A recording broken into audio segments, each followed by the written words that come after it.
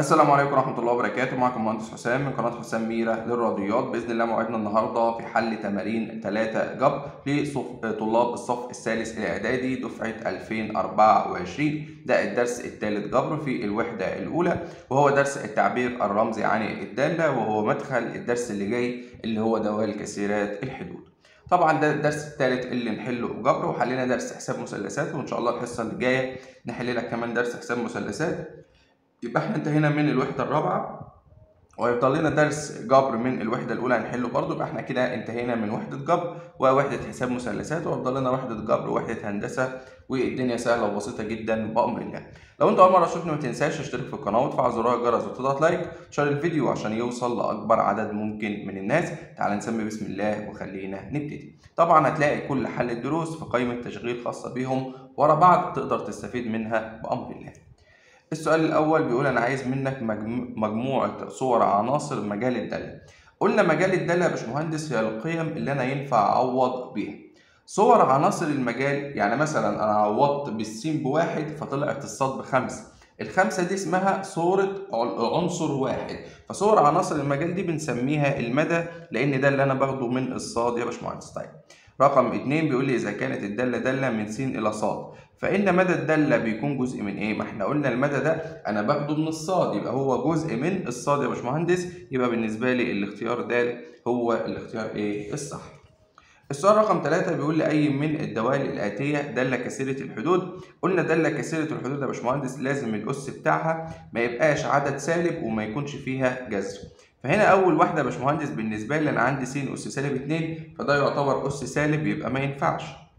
طب هنا رقم ب دي س أس 3 زائد س تربيع زائد 3 هنا الأسس كلها طبعا بالنسبة لي مفيش أس سالب فدي تنفع تبقى كثيرة حدود. هنا يا باشمهندس في جذر تربيعي ما ينفعش وهنا برضو في جذر تكعيبي ما ينفعش يبقى فعلا الاختيار ب هو الاختيار الصح. السؤال رقم أربعة بيقول لي كل من الدوال الآتية دالة كثيرة حدود ما عدا. طب 2 س ناقص 5 دي دالة كثيرة حدود لأن مفيش ولا أس سالب ومفيش جذر يا باشمهندس يبقى بالنسبة لي طبعا دي دالة خطية هنعرفها بعد كده فدي صح. د حيث د س عبارة عن التلاتة دي اسمها دالة ثابتة برضه مفيش ولا أسس سالبة ولا جذر فدي صح. طب دالة س بتساوي س مضروبة في س زائد واحد على س خلي بالك إن واحد على س دي اللي هي س أس سالب واحد فهنا يعتبر يا باشمهندس ظهر لي أسس سالبة يبقى الوحيدة اللي غلط هي الاختيار ج هنا دالة س بتساوي س على الاتنين وس على الاتنين هي هي نص س كأنها نص س ناقص السبعة يبقى فعلا الاختيار ج هو الاختيار الصح. السؤال خمسة بيقول لي الدالة د حيث الدالة س بتساوي س أس 4 ناقص 2 س تكعيب زائد 7 كثيرة حدود من الدرجة. قلنا يا باشمهندس باخد درجة أكبر أس بس بعد تبسيط المسألة. فهنا أكبر أس اللي هو 4 يبقى هي بالنسبة لي من الدرجة الرابعة ويبقى بالنسبة لي الاختيار د هو الاختيار الصح. السؤال 6 بيقول لي الدالة د حيث د س عبارة عن س في س ناقص 2 س تربيع. هي دالة كثيرة الحدود. قلنا باخد درجة أكبر أس بس بعد التبسيط. يبقى أنا بالنسبة لي هنا بقى دالة س بتساوي س في س بس تربيع ناقص س في 2 س تربيع ب 2 س تكعيب باخد درجة أكبر أس بعد التبسيط فهنا أكبر أس بالنسبة لي 3 يبقى هي بالنسبة لي من الدرجة الثالثة اللي هو الاختيار ج. السؤال 7 بيقول لي الدال حيث د س عبارة عن س تربيع ناقص س تربيع ناقص 3 س كثيرة حدود من الدرجة قلت باخد درجة أكبر أس بعد التبسيط. أدي دالة س أدي س تربيع. السالب هيخش على القوس يبقى سالب س تربيع. والسالب هيخش على السالب 3 س تبقى موجب 3 س خلي بالك إن الس تربيع هتروح مع السالب 3 س مع السالب س تربيع فيفضل لك 3 س ال 3 س دي الأس بتاعها واحد يعني بالنسبة لي إن أكبر أس هنا هو واحد يبقى بالنسبة لي إن الداله دي من الدرجة الأولى ويبقى بالنسبة لي الاختيار أ هو الاختيار الصح بتاعنا يا باشمهندس. خلاص دي كده تمارين سهلة وبسيطة وهو الدرس سهل وبسيط وقلنا هو يعتبر مدخل للدرس اللي جاي بأمر الله. خلاص؟ السؤال اللي بعده السؤال 8 بيقول لي الداله د حيث د س عبارة عن س تربيع في س ناقص 3 الكل تربيع. طيب إيه المفروض إن أنا بجيب الدالة دي بأبسط صورة؟ أو ممكن طريقة سهلة أنا عندي الضرب بجمع الأسس. فهنا 2 وهنا 2 يبقى 4 ليه؟ لأن أكبر حاجة هتطلع من هنا هي س تربيع. فلما أضربها في س تربيع يبقى س اس 4 يبقى هي بالنسبة لي من الدرجة الرابعة اللي هو الاختيار د مش عايز تعملها كده قول دالة س بتساوي. آدي السين تربيع مضروبة في الأول تربيع اللي هو س تربيع ناقص 2 في الأول في الثاني يبقى 6 س زائد الأخير تربيع اللي هو موجب 9 كلامك جميل. اضرب كده. س تربيع في س تربيع بس أس أربعة ناقص. ستة س في س تربيع بستة س أس تلاتة. زائد تسعة في س تربيع بتسعة س تربيع. هتلاحظ فعلا إن أكبر أس هنا أربعة يبقى هي بالنسبة لي من الدرجة الرابعة. السؤال تسعة بيقول لي الدال حيث دال س عبارة عن س ناقص خمسة لكل تكعيب. هي دالة كثيرة الحدود. هنا أس تلاتة فكده كده يا باشمهندس أكبر حاجة هتطلع من الدالة دي هي بالنسبة لي الأس تلاتة. يعني بالنسبة لي الاختيار ج هو الاختيار الصح. خلاص؟ هل فيها مشكلة؟ سهل. بيقول لي إذا كانت دالة س عبارة عن س تربيع ناقص س زائد تلاتة دال سالب اتنين. دال سالب اتنين. بص يا باشمهندس هو شال السين اللي دي وحط سالب اتنين. فأنا أي سين هتقابلنا هشيلها وأحط سالب اتنين. يبقى دي سالب اتنين أس اتنين. أدي سالب وهشيل السين وأحط سالب اتنين. وهنا موجب تلاتة. سالب اتنين تربيع بأربعة. سالب في سالب بموجب يبقى دي زائد اتنين زائد تلاتة. أربعة واتنين ستة زائد تلاتة تسعة. يبقى دالة السالب اتنين بتساوي تسعة. ويبقى بالنسبة لي يا باشمهندس طبعا الاختيار د هو الاختيار إيه الصح.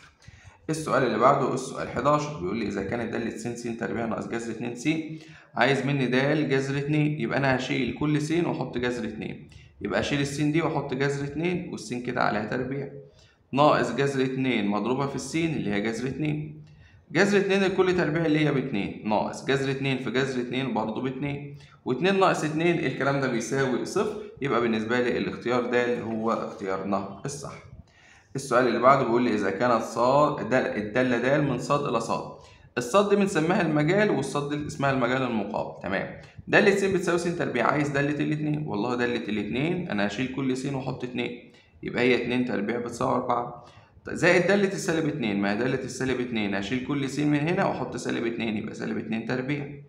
وسالب اتنين تربيع برضه أربعة. يبقى ده عبارة عن أربعة زائد أربعة والكلام ده بيساوي تمانية. يبقى بالنسبة لي الاختيار ج هو الاختيار الصح يا باشمهندس. طيب السؤال 13 بيقول لي إذا كانت دالة س عبارة عن دالة س بتساوي ك س زائد 8 ودالة الاتنين بصفر. طيب أدي دالة الاتنين. هشيل كل س وأحط في اتنين يبقى ده عبارة عن ك س يعني ك في اتنين الكلام ده زائد 8 طب ك في اتنين اللي هي 2 ك زائد التمانية قال لك لما انت عوضت عن السين باتنين طلع الناتج بصفر يبقى دي بصفر. وادي الناحية التانية يبقى الاتنين ك بتساوي سالب 8 اقسم هنا على الاتنين وهنا على الاتنين ده هتروح يبقى الكاف بتساوي. سالب 8 على الاتنين اللي هي سالب 4 ويبقى بالنسبة لي الاختيار د هو الاختيار الصح. السؤال اللي بعده السؤال 14 بيقول لي إذا كانت دالة س عبارة عن س ناقص 5 ونص دالة أ بتلاتة. لا ما ينفعش أتعامل بنص دالة أ أنا هقول يا باشمهندس كده. أنا هضرب هنا في 2 وهضرب هنا في 2 فالاتنين هتطير النص يبقى دالة الألف عبارة عن 3 في 2 ب 6 يبقى أنا دالة الألف هشيل كل س وأحط مكانها ألف. فأنا هشيل السين دي وأحط ألف ويبقى ناقص خمسة. ولما عوضت عن السين بألف الناتج طلع ستة. هودي دي الناحية التانية يبقى الألف بيساوي خمسة زائد ستة اللي هو 11 ويبقى الاختيار ج هو الاختيار الصح. السؤال 15 بيقول لي إذا كانت د من ح إلى ح ودالة س بتساوي س أس ك ناقص 2 زائد 3 ودالة الاتنين ب 11 دالة الاتنين هشيل كل س وأحط مكانها 2 فأنا هشيل الس دي وأحط 2 يبقى 2 أس ك ناقص الاتنين زائد التلاتة.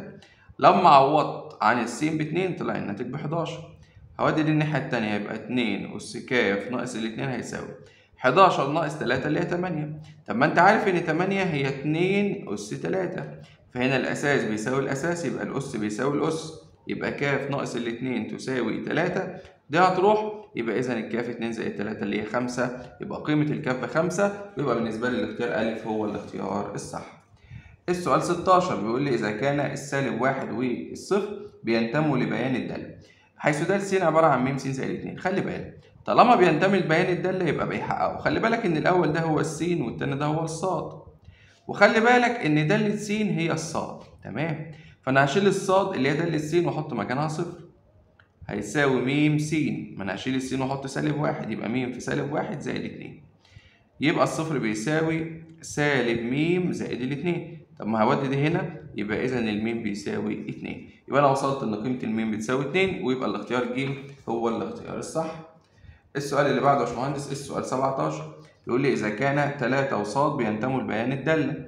قلنا الأول ده هو السين والتاني ده اللي هو الصاد وقلنا إن دالة السين هي الصاد. فهشيل الدالة س اللي هي الصاد وأحط مكانها صاد يبقى صاد. هيساوي. هشيل السين وأحط مكانها 3 يبقى الصاد بتساوي 3 زائد 2 طبعا 3 زائد 2 5 يبقى بالنسبة لي الاختيار ا هو الاختيار إيه الصح. يا باشمهندس خلاص. شغل سهل وبسيط. اللي بعده. السؤال 18 يا باشمهندس بيقول لي إذا كان أ وأ بينتمي لبيان الدالة حيث الدالة س عبارة عن 2 س زائد 3 قلنا الأول ده اللي هو السين والتاني هو الصاد وقلنا دالة س اللي هي الصاد. فأنا هشيل دالة س اللي هي الصاد وأحط أ هيساوي 2 س أدي 2 واشيل السين وأحط ا زائد التلاتة. كلامك جميل يبقى أنت وصلت إن الألف بيساوي 2 ا زائد التلاتة. هجيب دي هنا وأودي دي هناك. 2 ا هيجي لها ا بالسالب يبقى ا والتلاتة هناك هتروح بسالب تلاتة يبقى اذا الألف بسالب تلاتة ويبقى الاختيار ج هو الاختيار الصح. السؤال 19 بيقول لي دالة س زائد تلاتة بيساوي س ناقص تلاتة فإن دالة سبعة ركز معايا. هو شال اللي جوه القوس وحط مكانه سبعة فإحنا عايزين نعرف هو عور عن السين بكام.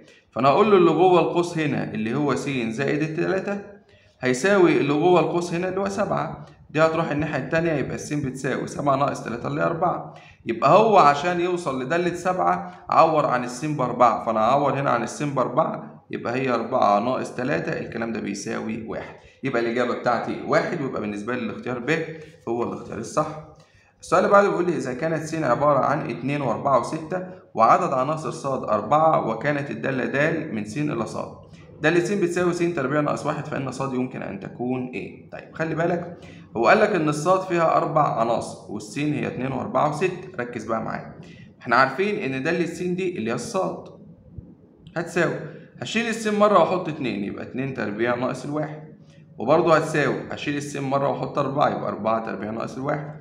وبرضه هتساوي. هشيل السين وأحط 6 يبقى 6 تربيع ناقص الواحد. طيب. 2 تربيع ب 4 ناقص 1 اللي هي 3 4 تربيع ب 16 ناقص 1 15 6 تربيع ب 36 ناقص 1 35 يبقى أنا عايز حاجة فيها 3 و15 و35 بس هو خلي بالك قال لك إن الصاد بتساوي فيها أربع عناصر فدي مش هتنفع ودي مش هتنفع. يبقى يا إما دي يا إما دي. طيب دي فيها 3 و15 و25 و45 طب فين ال 35 ما ظهرتش. يبقى هي أكيد دي. يبقى 3 و15 و25 و35 لأن الثلاثه موجودة وال15 موجودة وال35 موجودة والرابع يكون زي ما يكون يبقى الاختيار ده هو الاختيار الصح. السؤال اللي بعده يا باشمهندس السؤال 21 بيقول لي إذا كان داله س عبارة عن ن س تربيع زائد 2 س ن فإن مجموع قيم ن الممكنة التي تجعل دي دالة من الدرجة الثانية طيب ركز كده معايا. عشان أخليها من الدرجة الثانية على لما أعوض يا باشمهندس بالأرقام اللي تحت دي يبقى أكبر أس هو بالنسبة لي أس 2 فتعالى نعوض بالاثنين كده. هتبقى دي النون هشيلها وأحط 2 وأدي السين تربيع زائد 2 س النون دي هشيلها وأحط مكانها 2 ناقص التلاتة. فخلي بالك أنت كده عرفت إن الاثنين بتنفع لأن كده من الدرجة الثانية بس تعالى نشوف الرقم اللي معانا. الرقم اللي معايا هشيل النون واحط 3 يبقى دي 3 س تربيع زائد 2 ادي السين ما اس ن فهشيلها واحط 3 ناقص 3 خلي بالك إن الثلاثه ما تنفعش لأن دي كده أصبحت من الدرجة الثالثه يبقى أنت يا باشمهندس أول واحدة دي مش هتنفع. طب واحد وسالب واحد تعالى نشوف. لما نشيل النون ونحط واحد واحد في س تربيع يبقى س تربيع. زائد 2 هشيل السين دي وأحط واحد يبقى دي 2 س ناقص التلاتة. هنا أكبر أس هو بالنسبة لي 2 فخلي بالك إن الواحد بينفع. ده أنا هقول لك المعلومات دي كمان شوية. طب السالب واحد والله هتبقى سالب س تربيع زائد 2 س. هشيل النون وأحط سالب واحد ناقص 3 خلي بالك إن هي كده بالنسبة لي أكبر أس هنا يا باشمهندس هو 2 بس في هنا سالب واحد. خلاص؟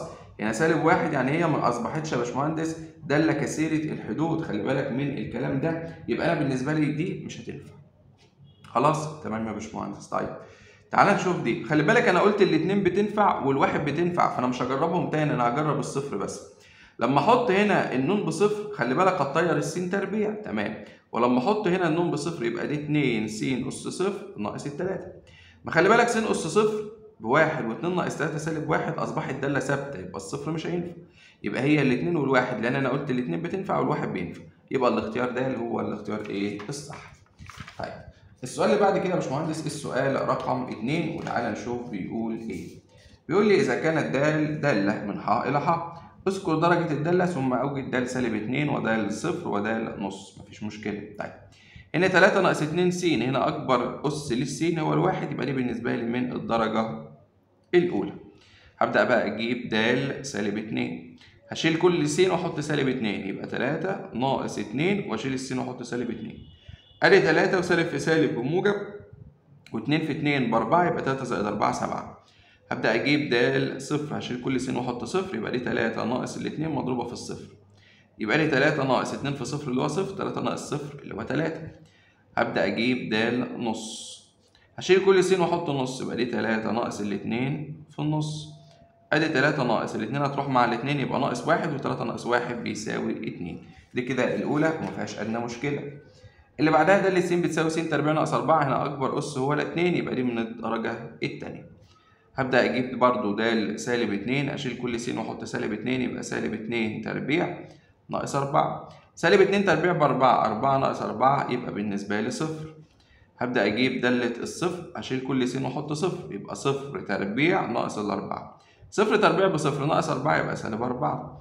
هبدأ أجيب دالة النص أشيل كل س وأحط نص يبقى نص تربيع. ناقص أربعة. نص تربيع بربع.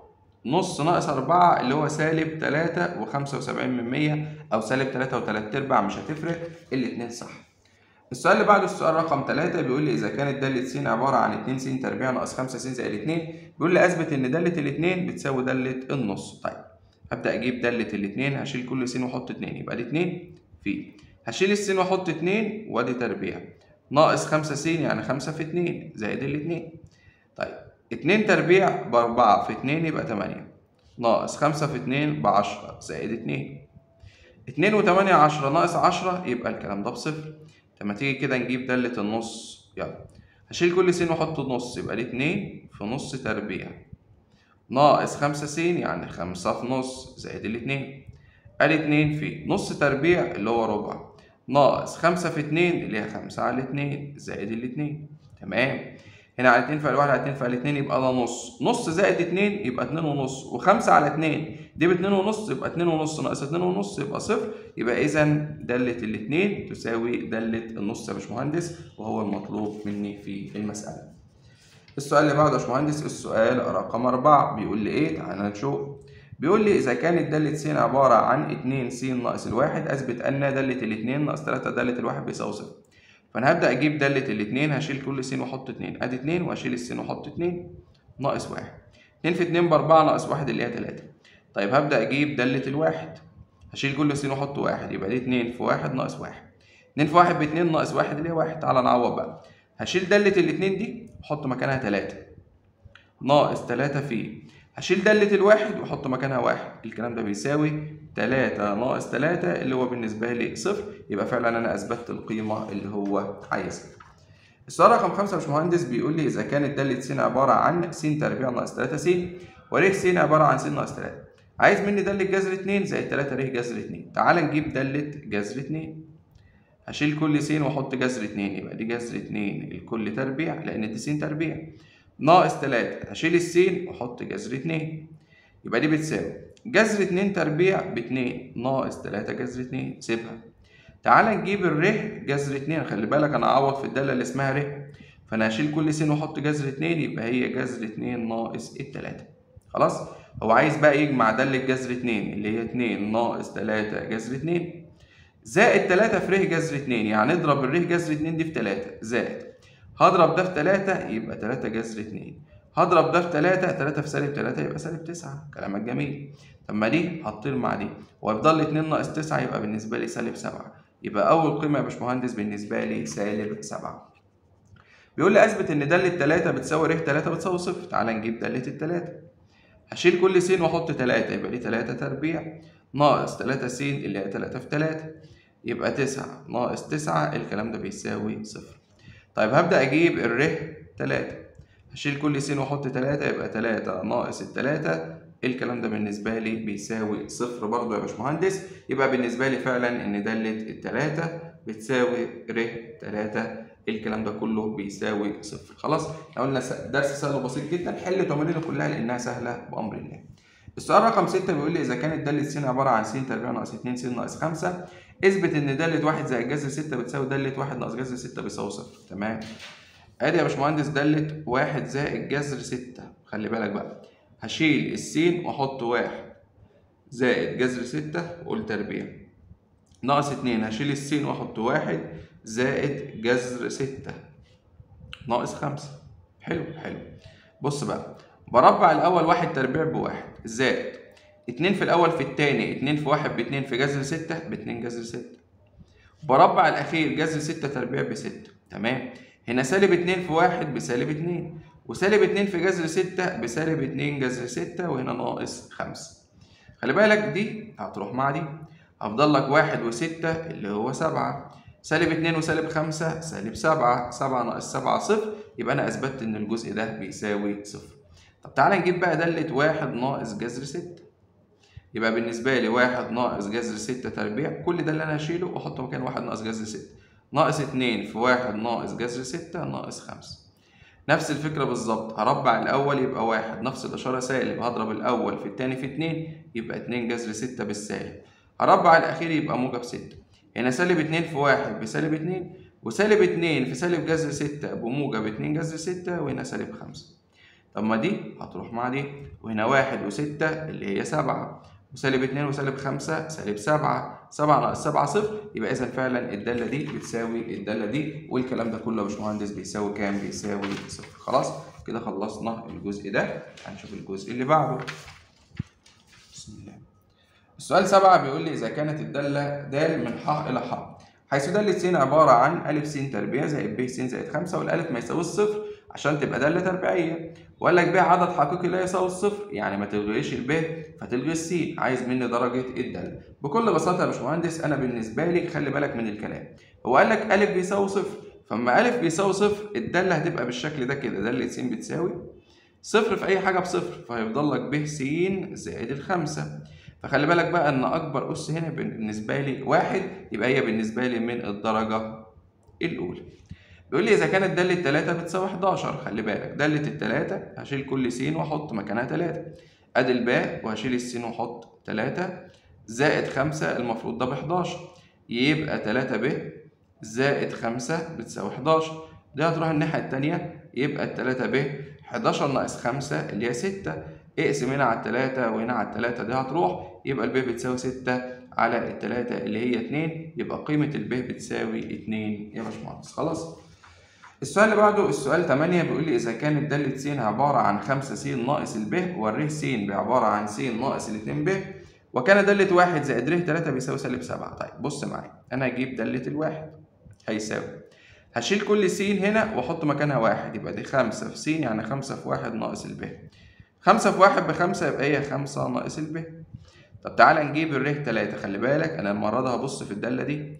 فأنا هشيل كل س هنا وأحط تلاتة. طب ما قابلني السين هشيلها وأحط تلاتة.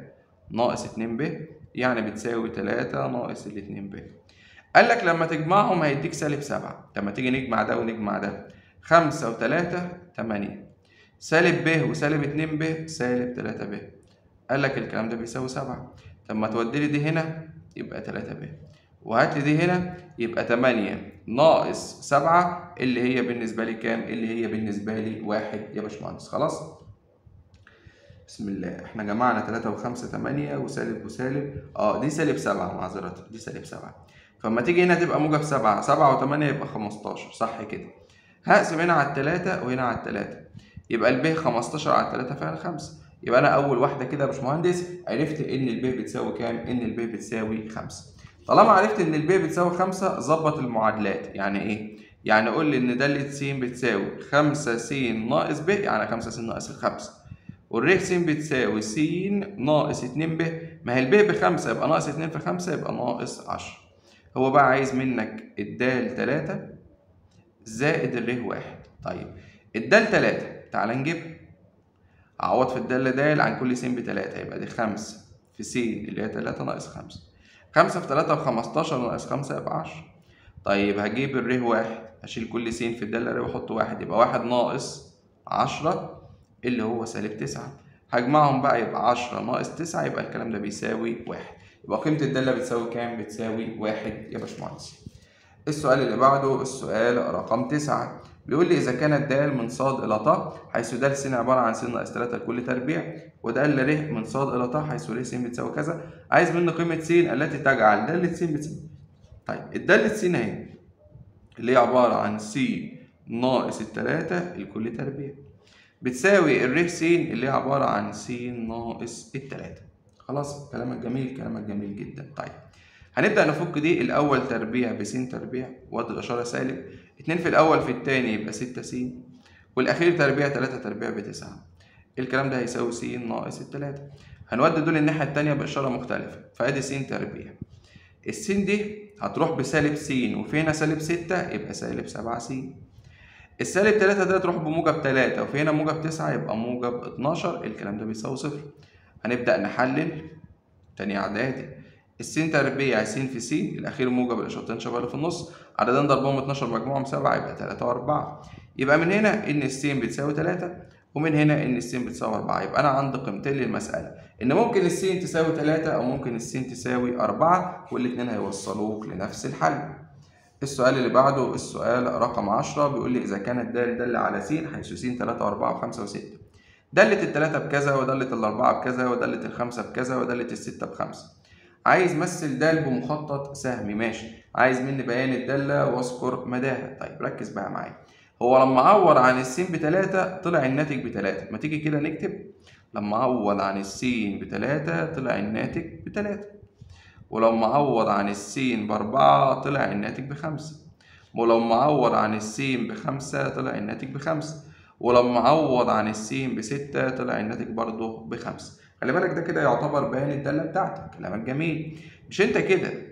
عارف إن السين هي الأول اللي هو تلاتة وأربعة وخمسة وستة هو كده جايب لك السين طب مش انت عارف إن الصاد هي الأرقام اللي هنا بدون تكرار؟ آه. فأنت عندك تلاتة وعندك خمسة هكتبها مرة واحدة عشان ما تتكررش. يا باشمهندس كلام جميل. هو عايز بقى مني مخطط سهمي. آدي السين وآدي الصاد. السين تلاتة أربعة خمسة ستة الصاد تلاتة وخمسة.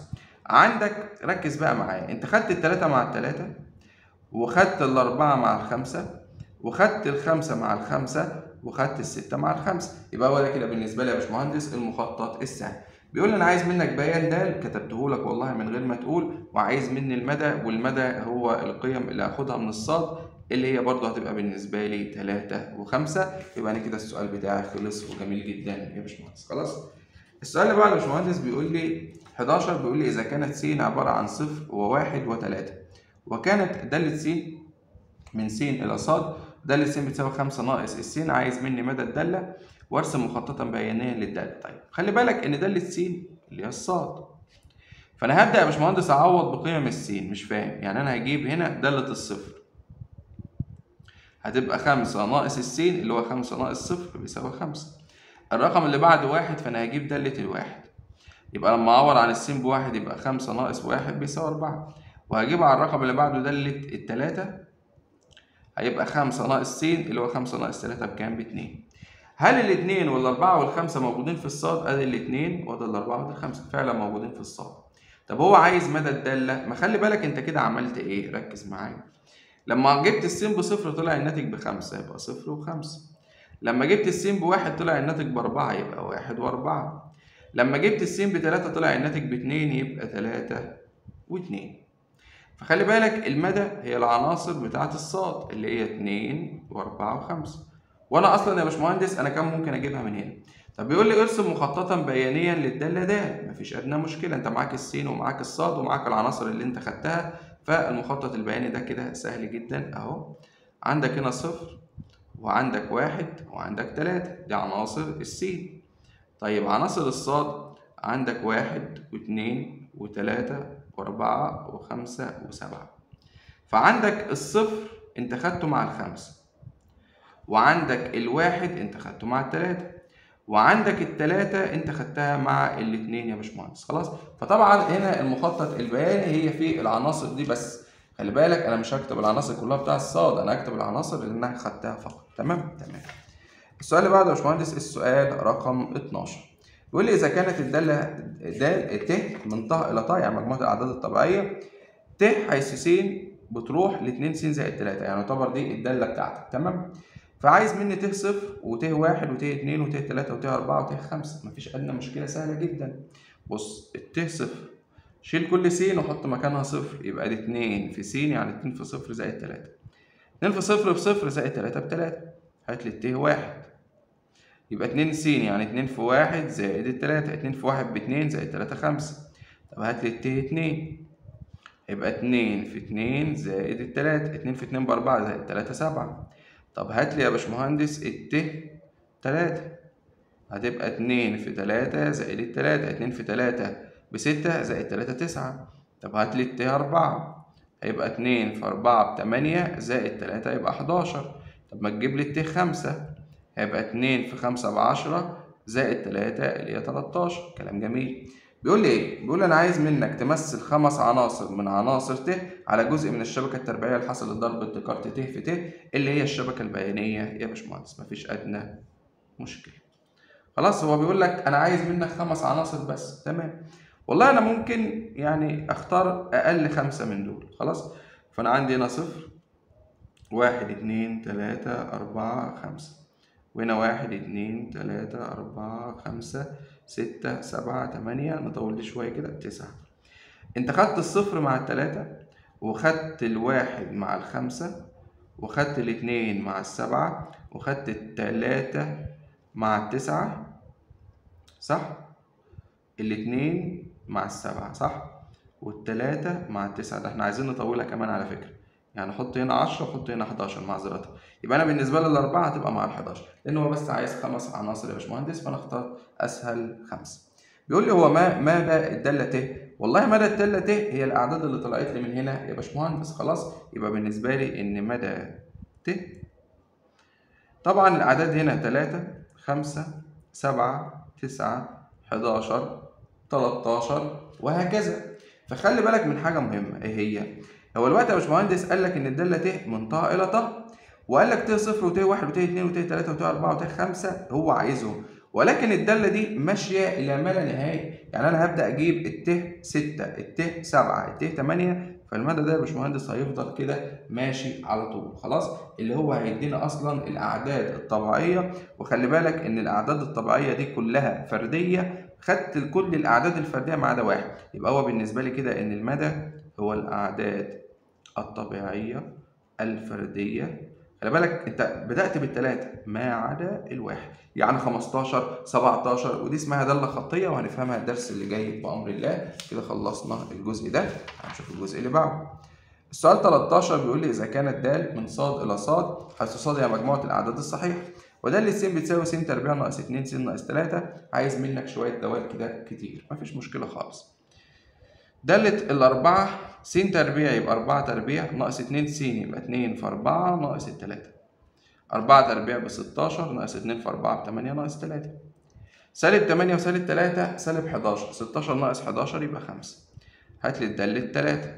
أهي القاعدة أهي أدي تلاتة تربيع ناقص اتنين في تلاتة ناقص تلاتة. تلاتة تربيع بتسعة ناقص اتنين في تلاتة بستة ناقص تلاتة. سالب ستة وسالب تلاتة سالب تسعة ومعاك موجب تسعة يبقى الكلام ده بصفر. هات لي دالة الاتنين يبقى اتنين تربيع ناقص اتنين في اتنين ناقص التلاتة اتنين تربيع بأربعة ناقص اتنين في اتنين بأربعة ناقص التلاتة لما دي هتروح مع دي يبقى يفضل لك سالب تلاتة هات لي دالة الواحد. يلا. واحد تربيع بواحد ناقص اتنين في واحد ناقص التلاتة واحد تربيع قلنا بواحد ناقص اتنين ناقص تلاتة سالب اتنين وسالب تلاتة سالب خمسة. وموجب واحد يبقى سالب أربعة. هات لي دالة الصفر. هيبقى بالنسبة لي صفر تربيع هيروح. سالب اتنين س هتروح يبقى هيفضل لي سالب تلاتة. ده سهلة. طب هات لي دالة السالب واحد. يبقى سالب واحد تربيع ناقص اتنين في سالب واحد ناقص التلاتة. سالب واحد تربيع بواحد. سالب اتنين في سالب واحد بموجب اتنين ناقص تلاتة. يبقى تلاتة ناقص تلاتة اللي هي بالنسبة لي صفر. كلامك جميل. هتلاقي آخر واحدة اللي هي ده سالب اتنين. سالب اتنين تربيع ناقص اتنين في سالب اتنين ناقص تلاتة. سالب اتنين تربيع بأربعة وسالب اتنين في سالب اتنين برضه بأربعة ناقص تلاتة. أربعة زائد أربعة تمانية ناقص تلاتة خمسة. خلاص هي قيم كتيرة كده بس الموضوع سهل خالص يا باشمهندس. خلاص.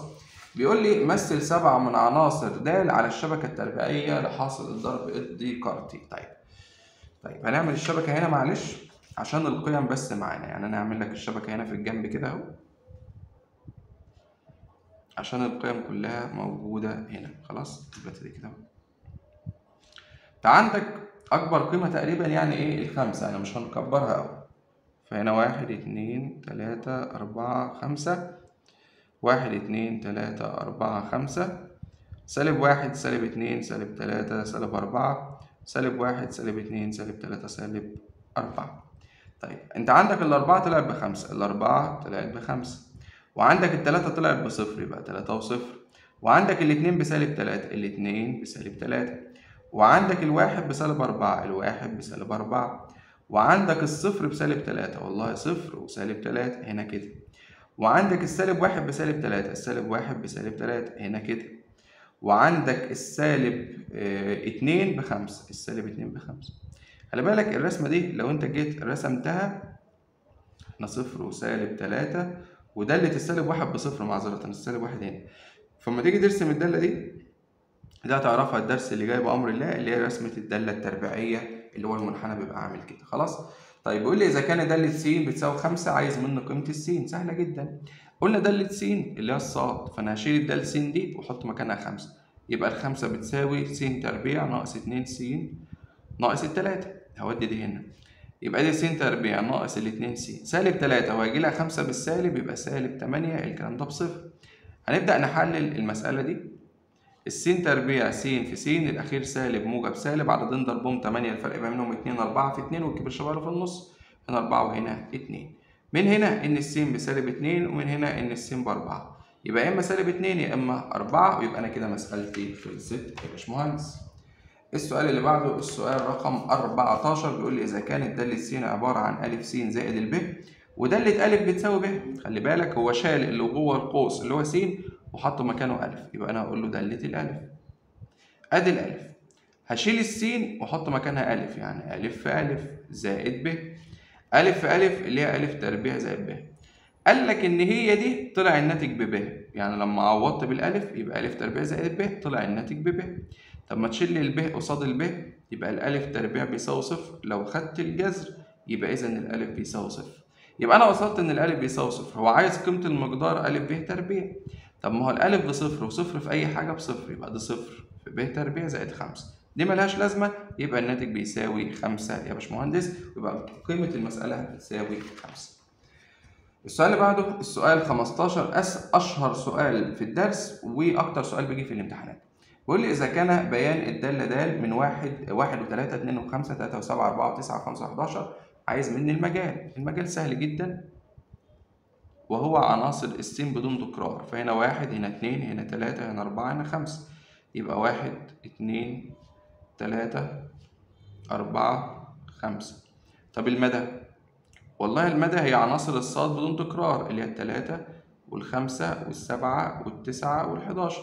ومهمش مكررين يبقى تلاتة خمسة سبعة تسعة حداشر. فدول سهلين جدا. تعالى بقى للقاعدة.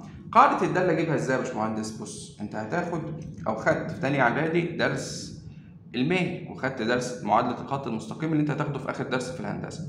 عشان بس ما تقعدش تجرب أنت عندك يا باشمهندس العلاقة بتقول لك ص بتساوي م س زائد الجيم تمام؟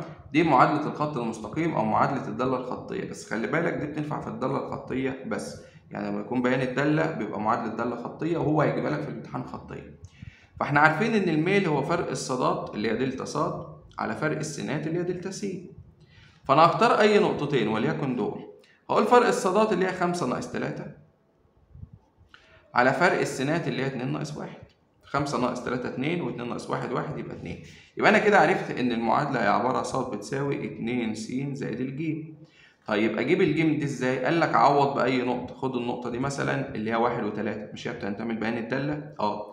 فشيل الصاد وحط تلاتة يبقى دي تلاتة. هتساوي اتنين س آه سوري بقى السين بواحد يبقى اتنين في واحد زائد الجيم يعني التلاتة بتساوي اتنين زائد الجيم ودي دي كده.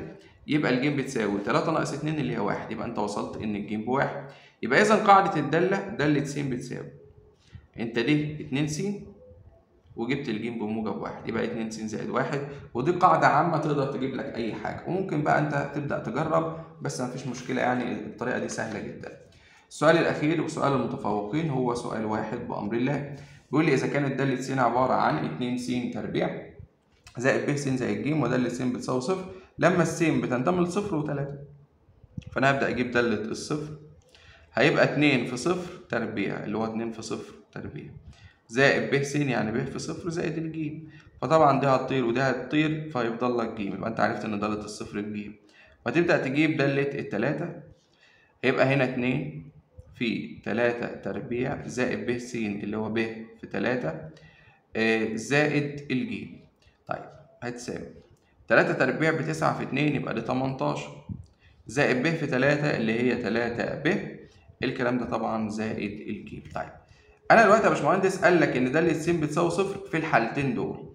طيب خلي بالك إن دالة س بتساوي صفر يعني من أول واحدة دي لازم إن الجيم تساوي صفر. يبقى أنا وصلت إن الجيم بتساوي صفر وده أول ثابت بالنسبة لي. طب ما تعالى نعوض في المعادلة دي عن الجيم بصفر فهتروح فيفضل لي 18 زائد 3 ب ما أقول لك أما تعوض ب 3 برضو الناتج بصفر.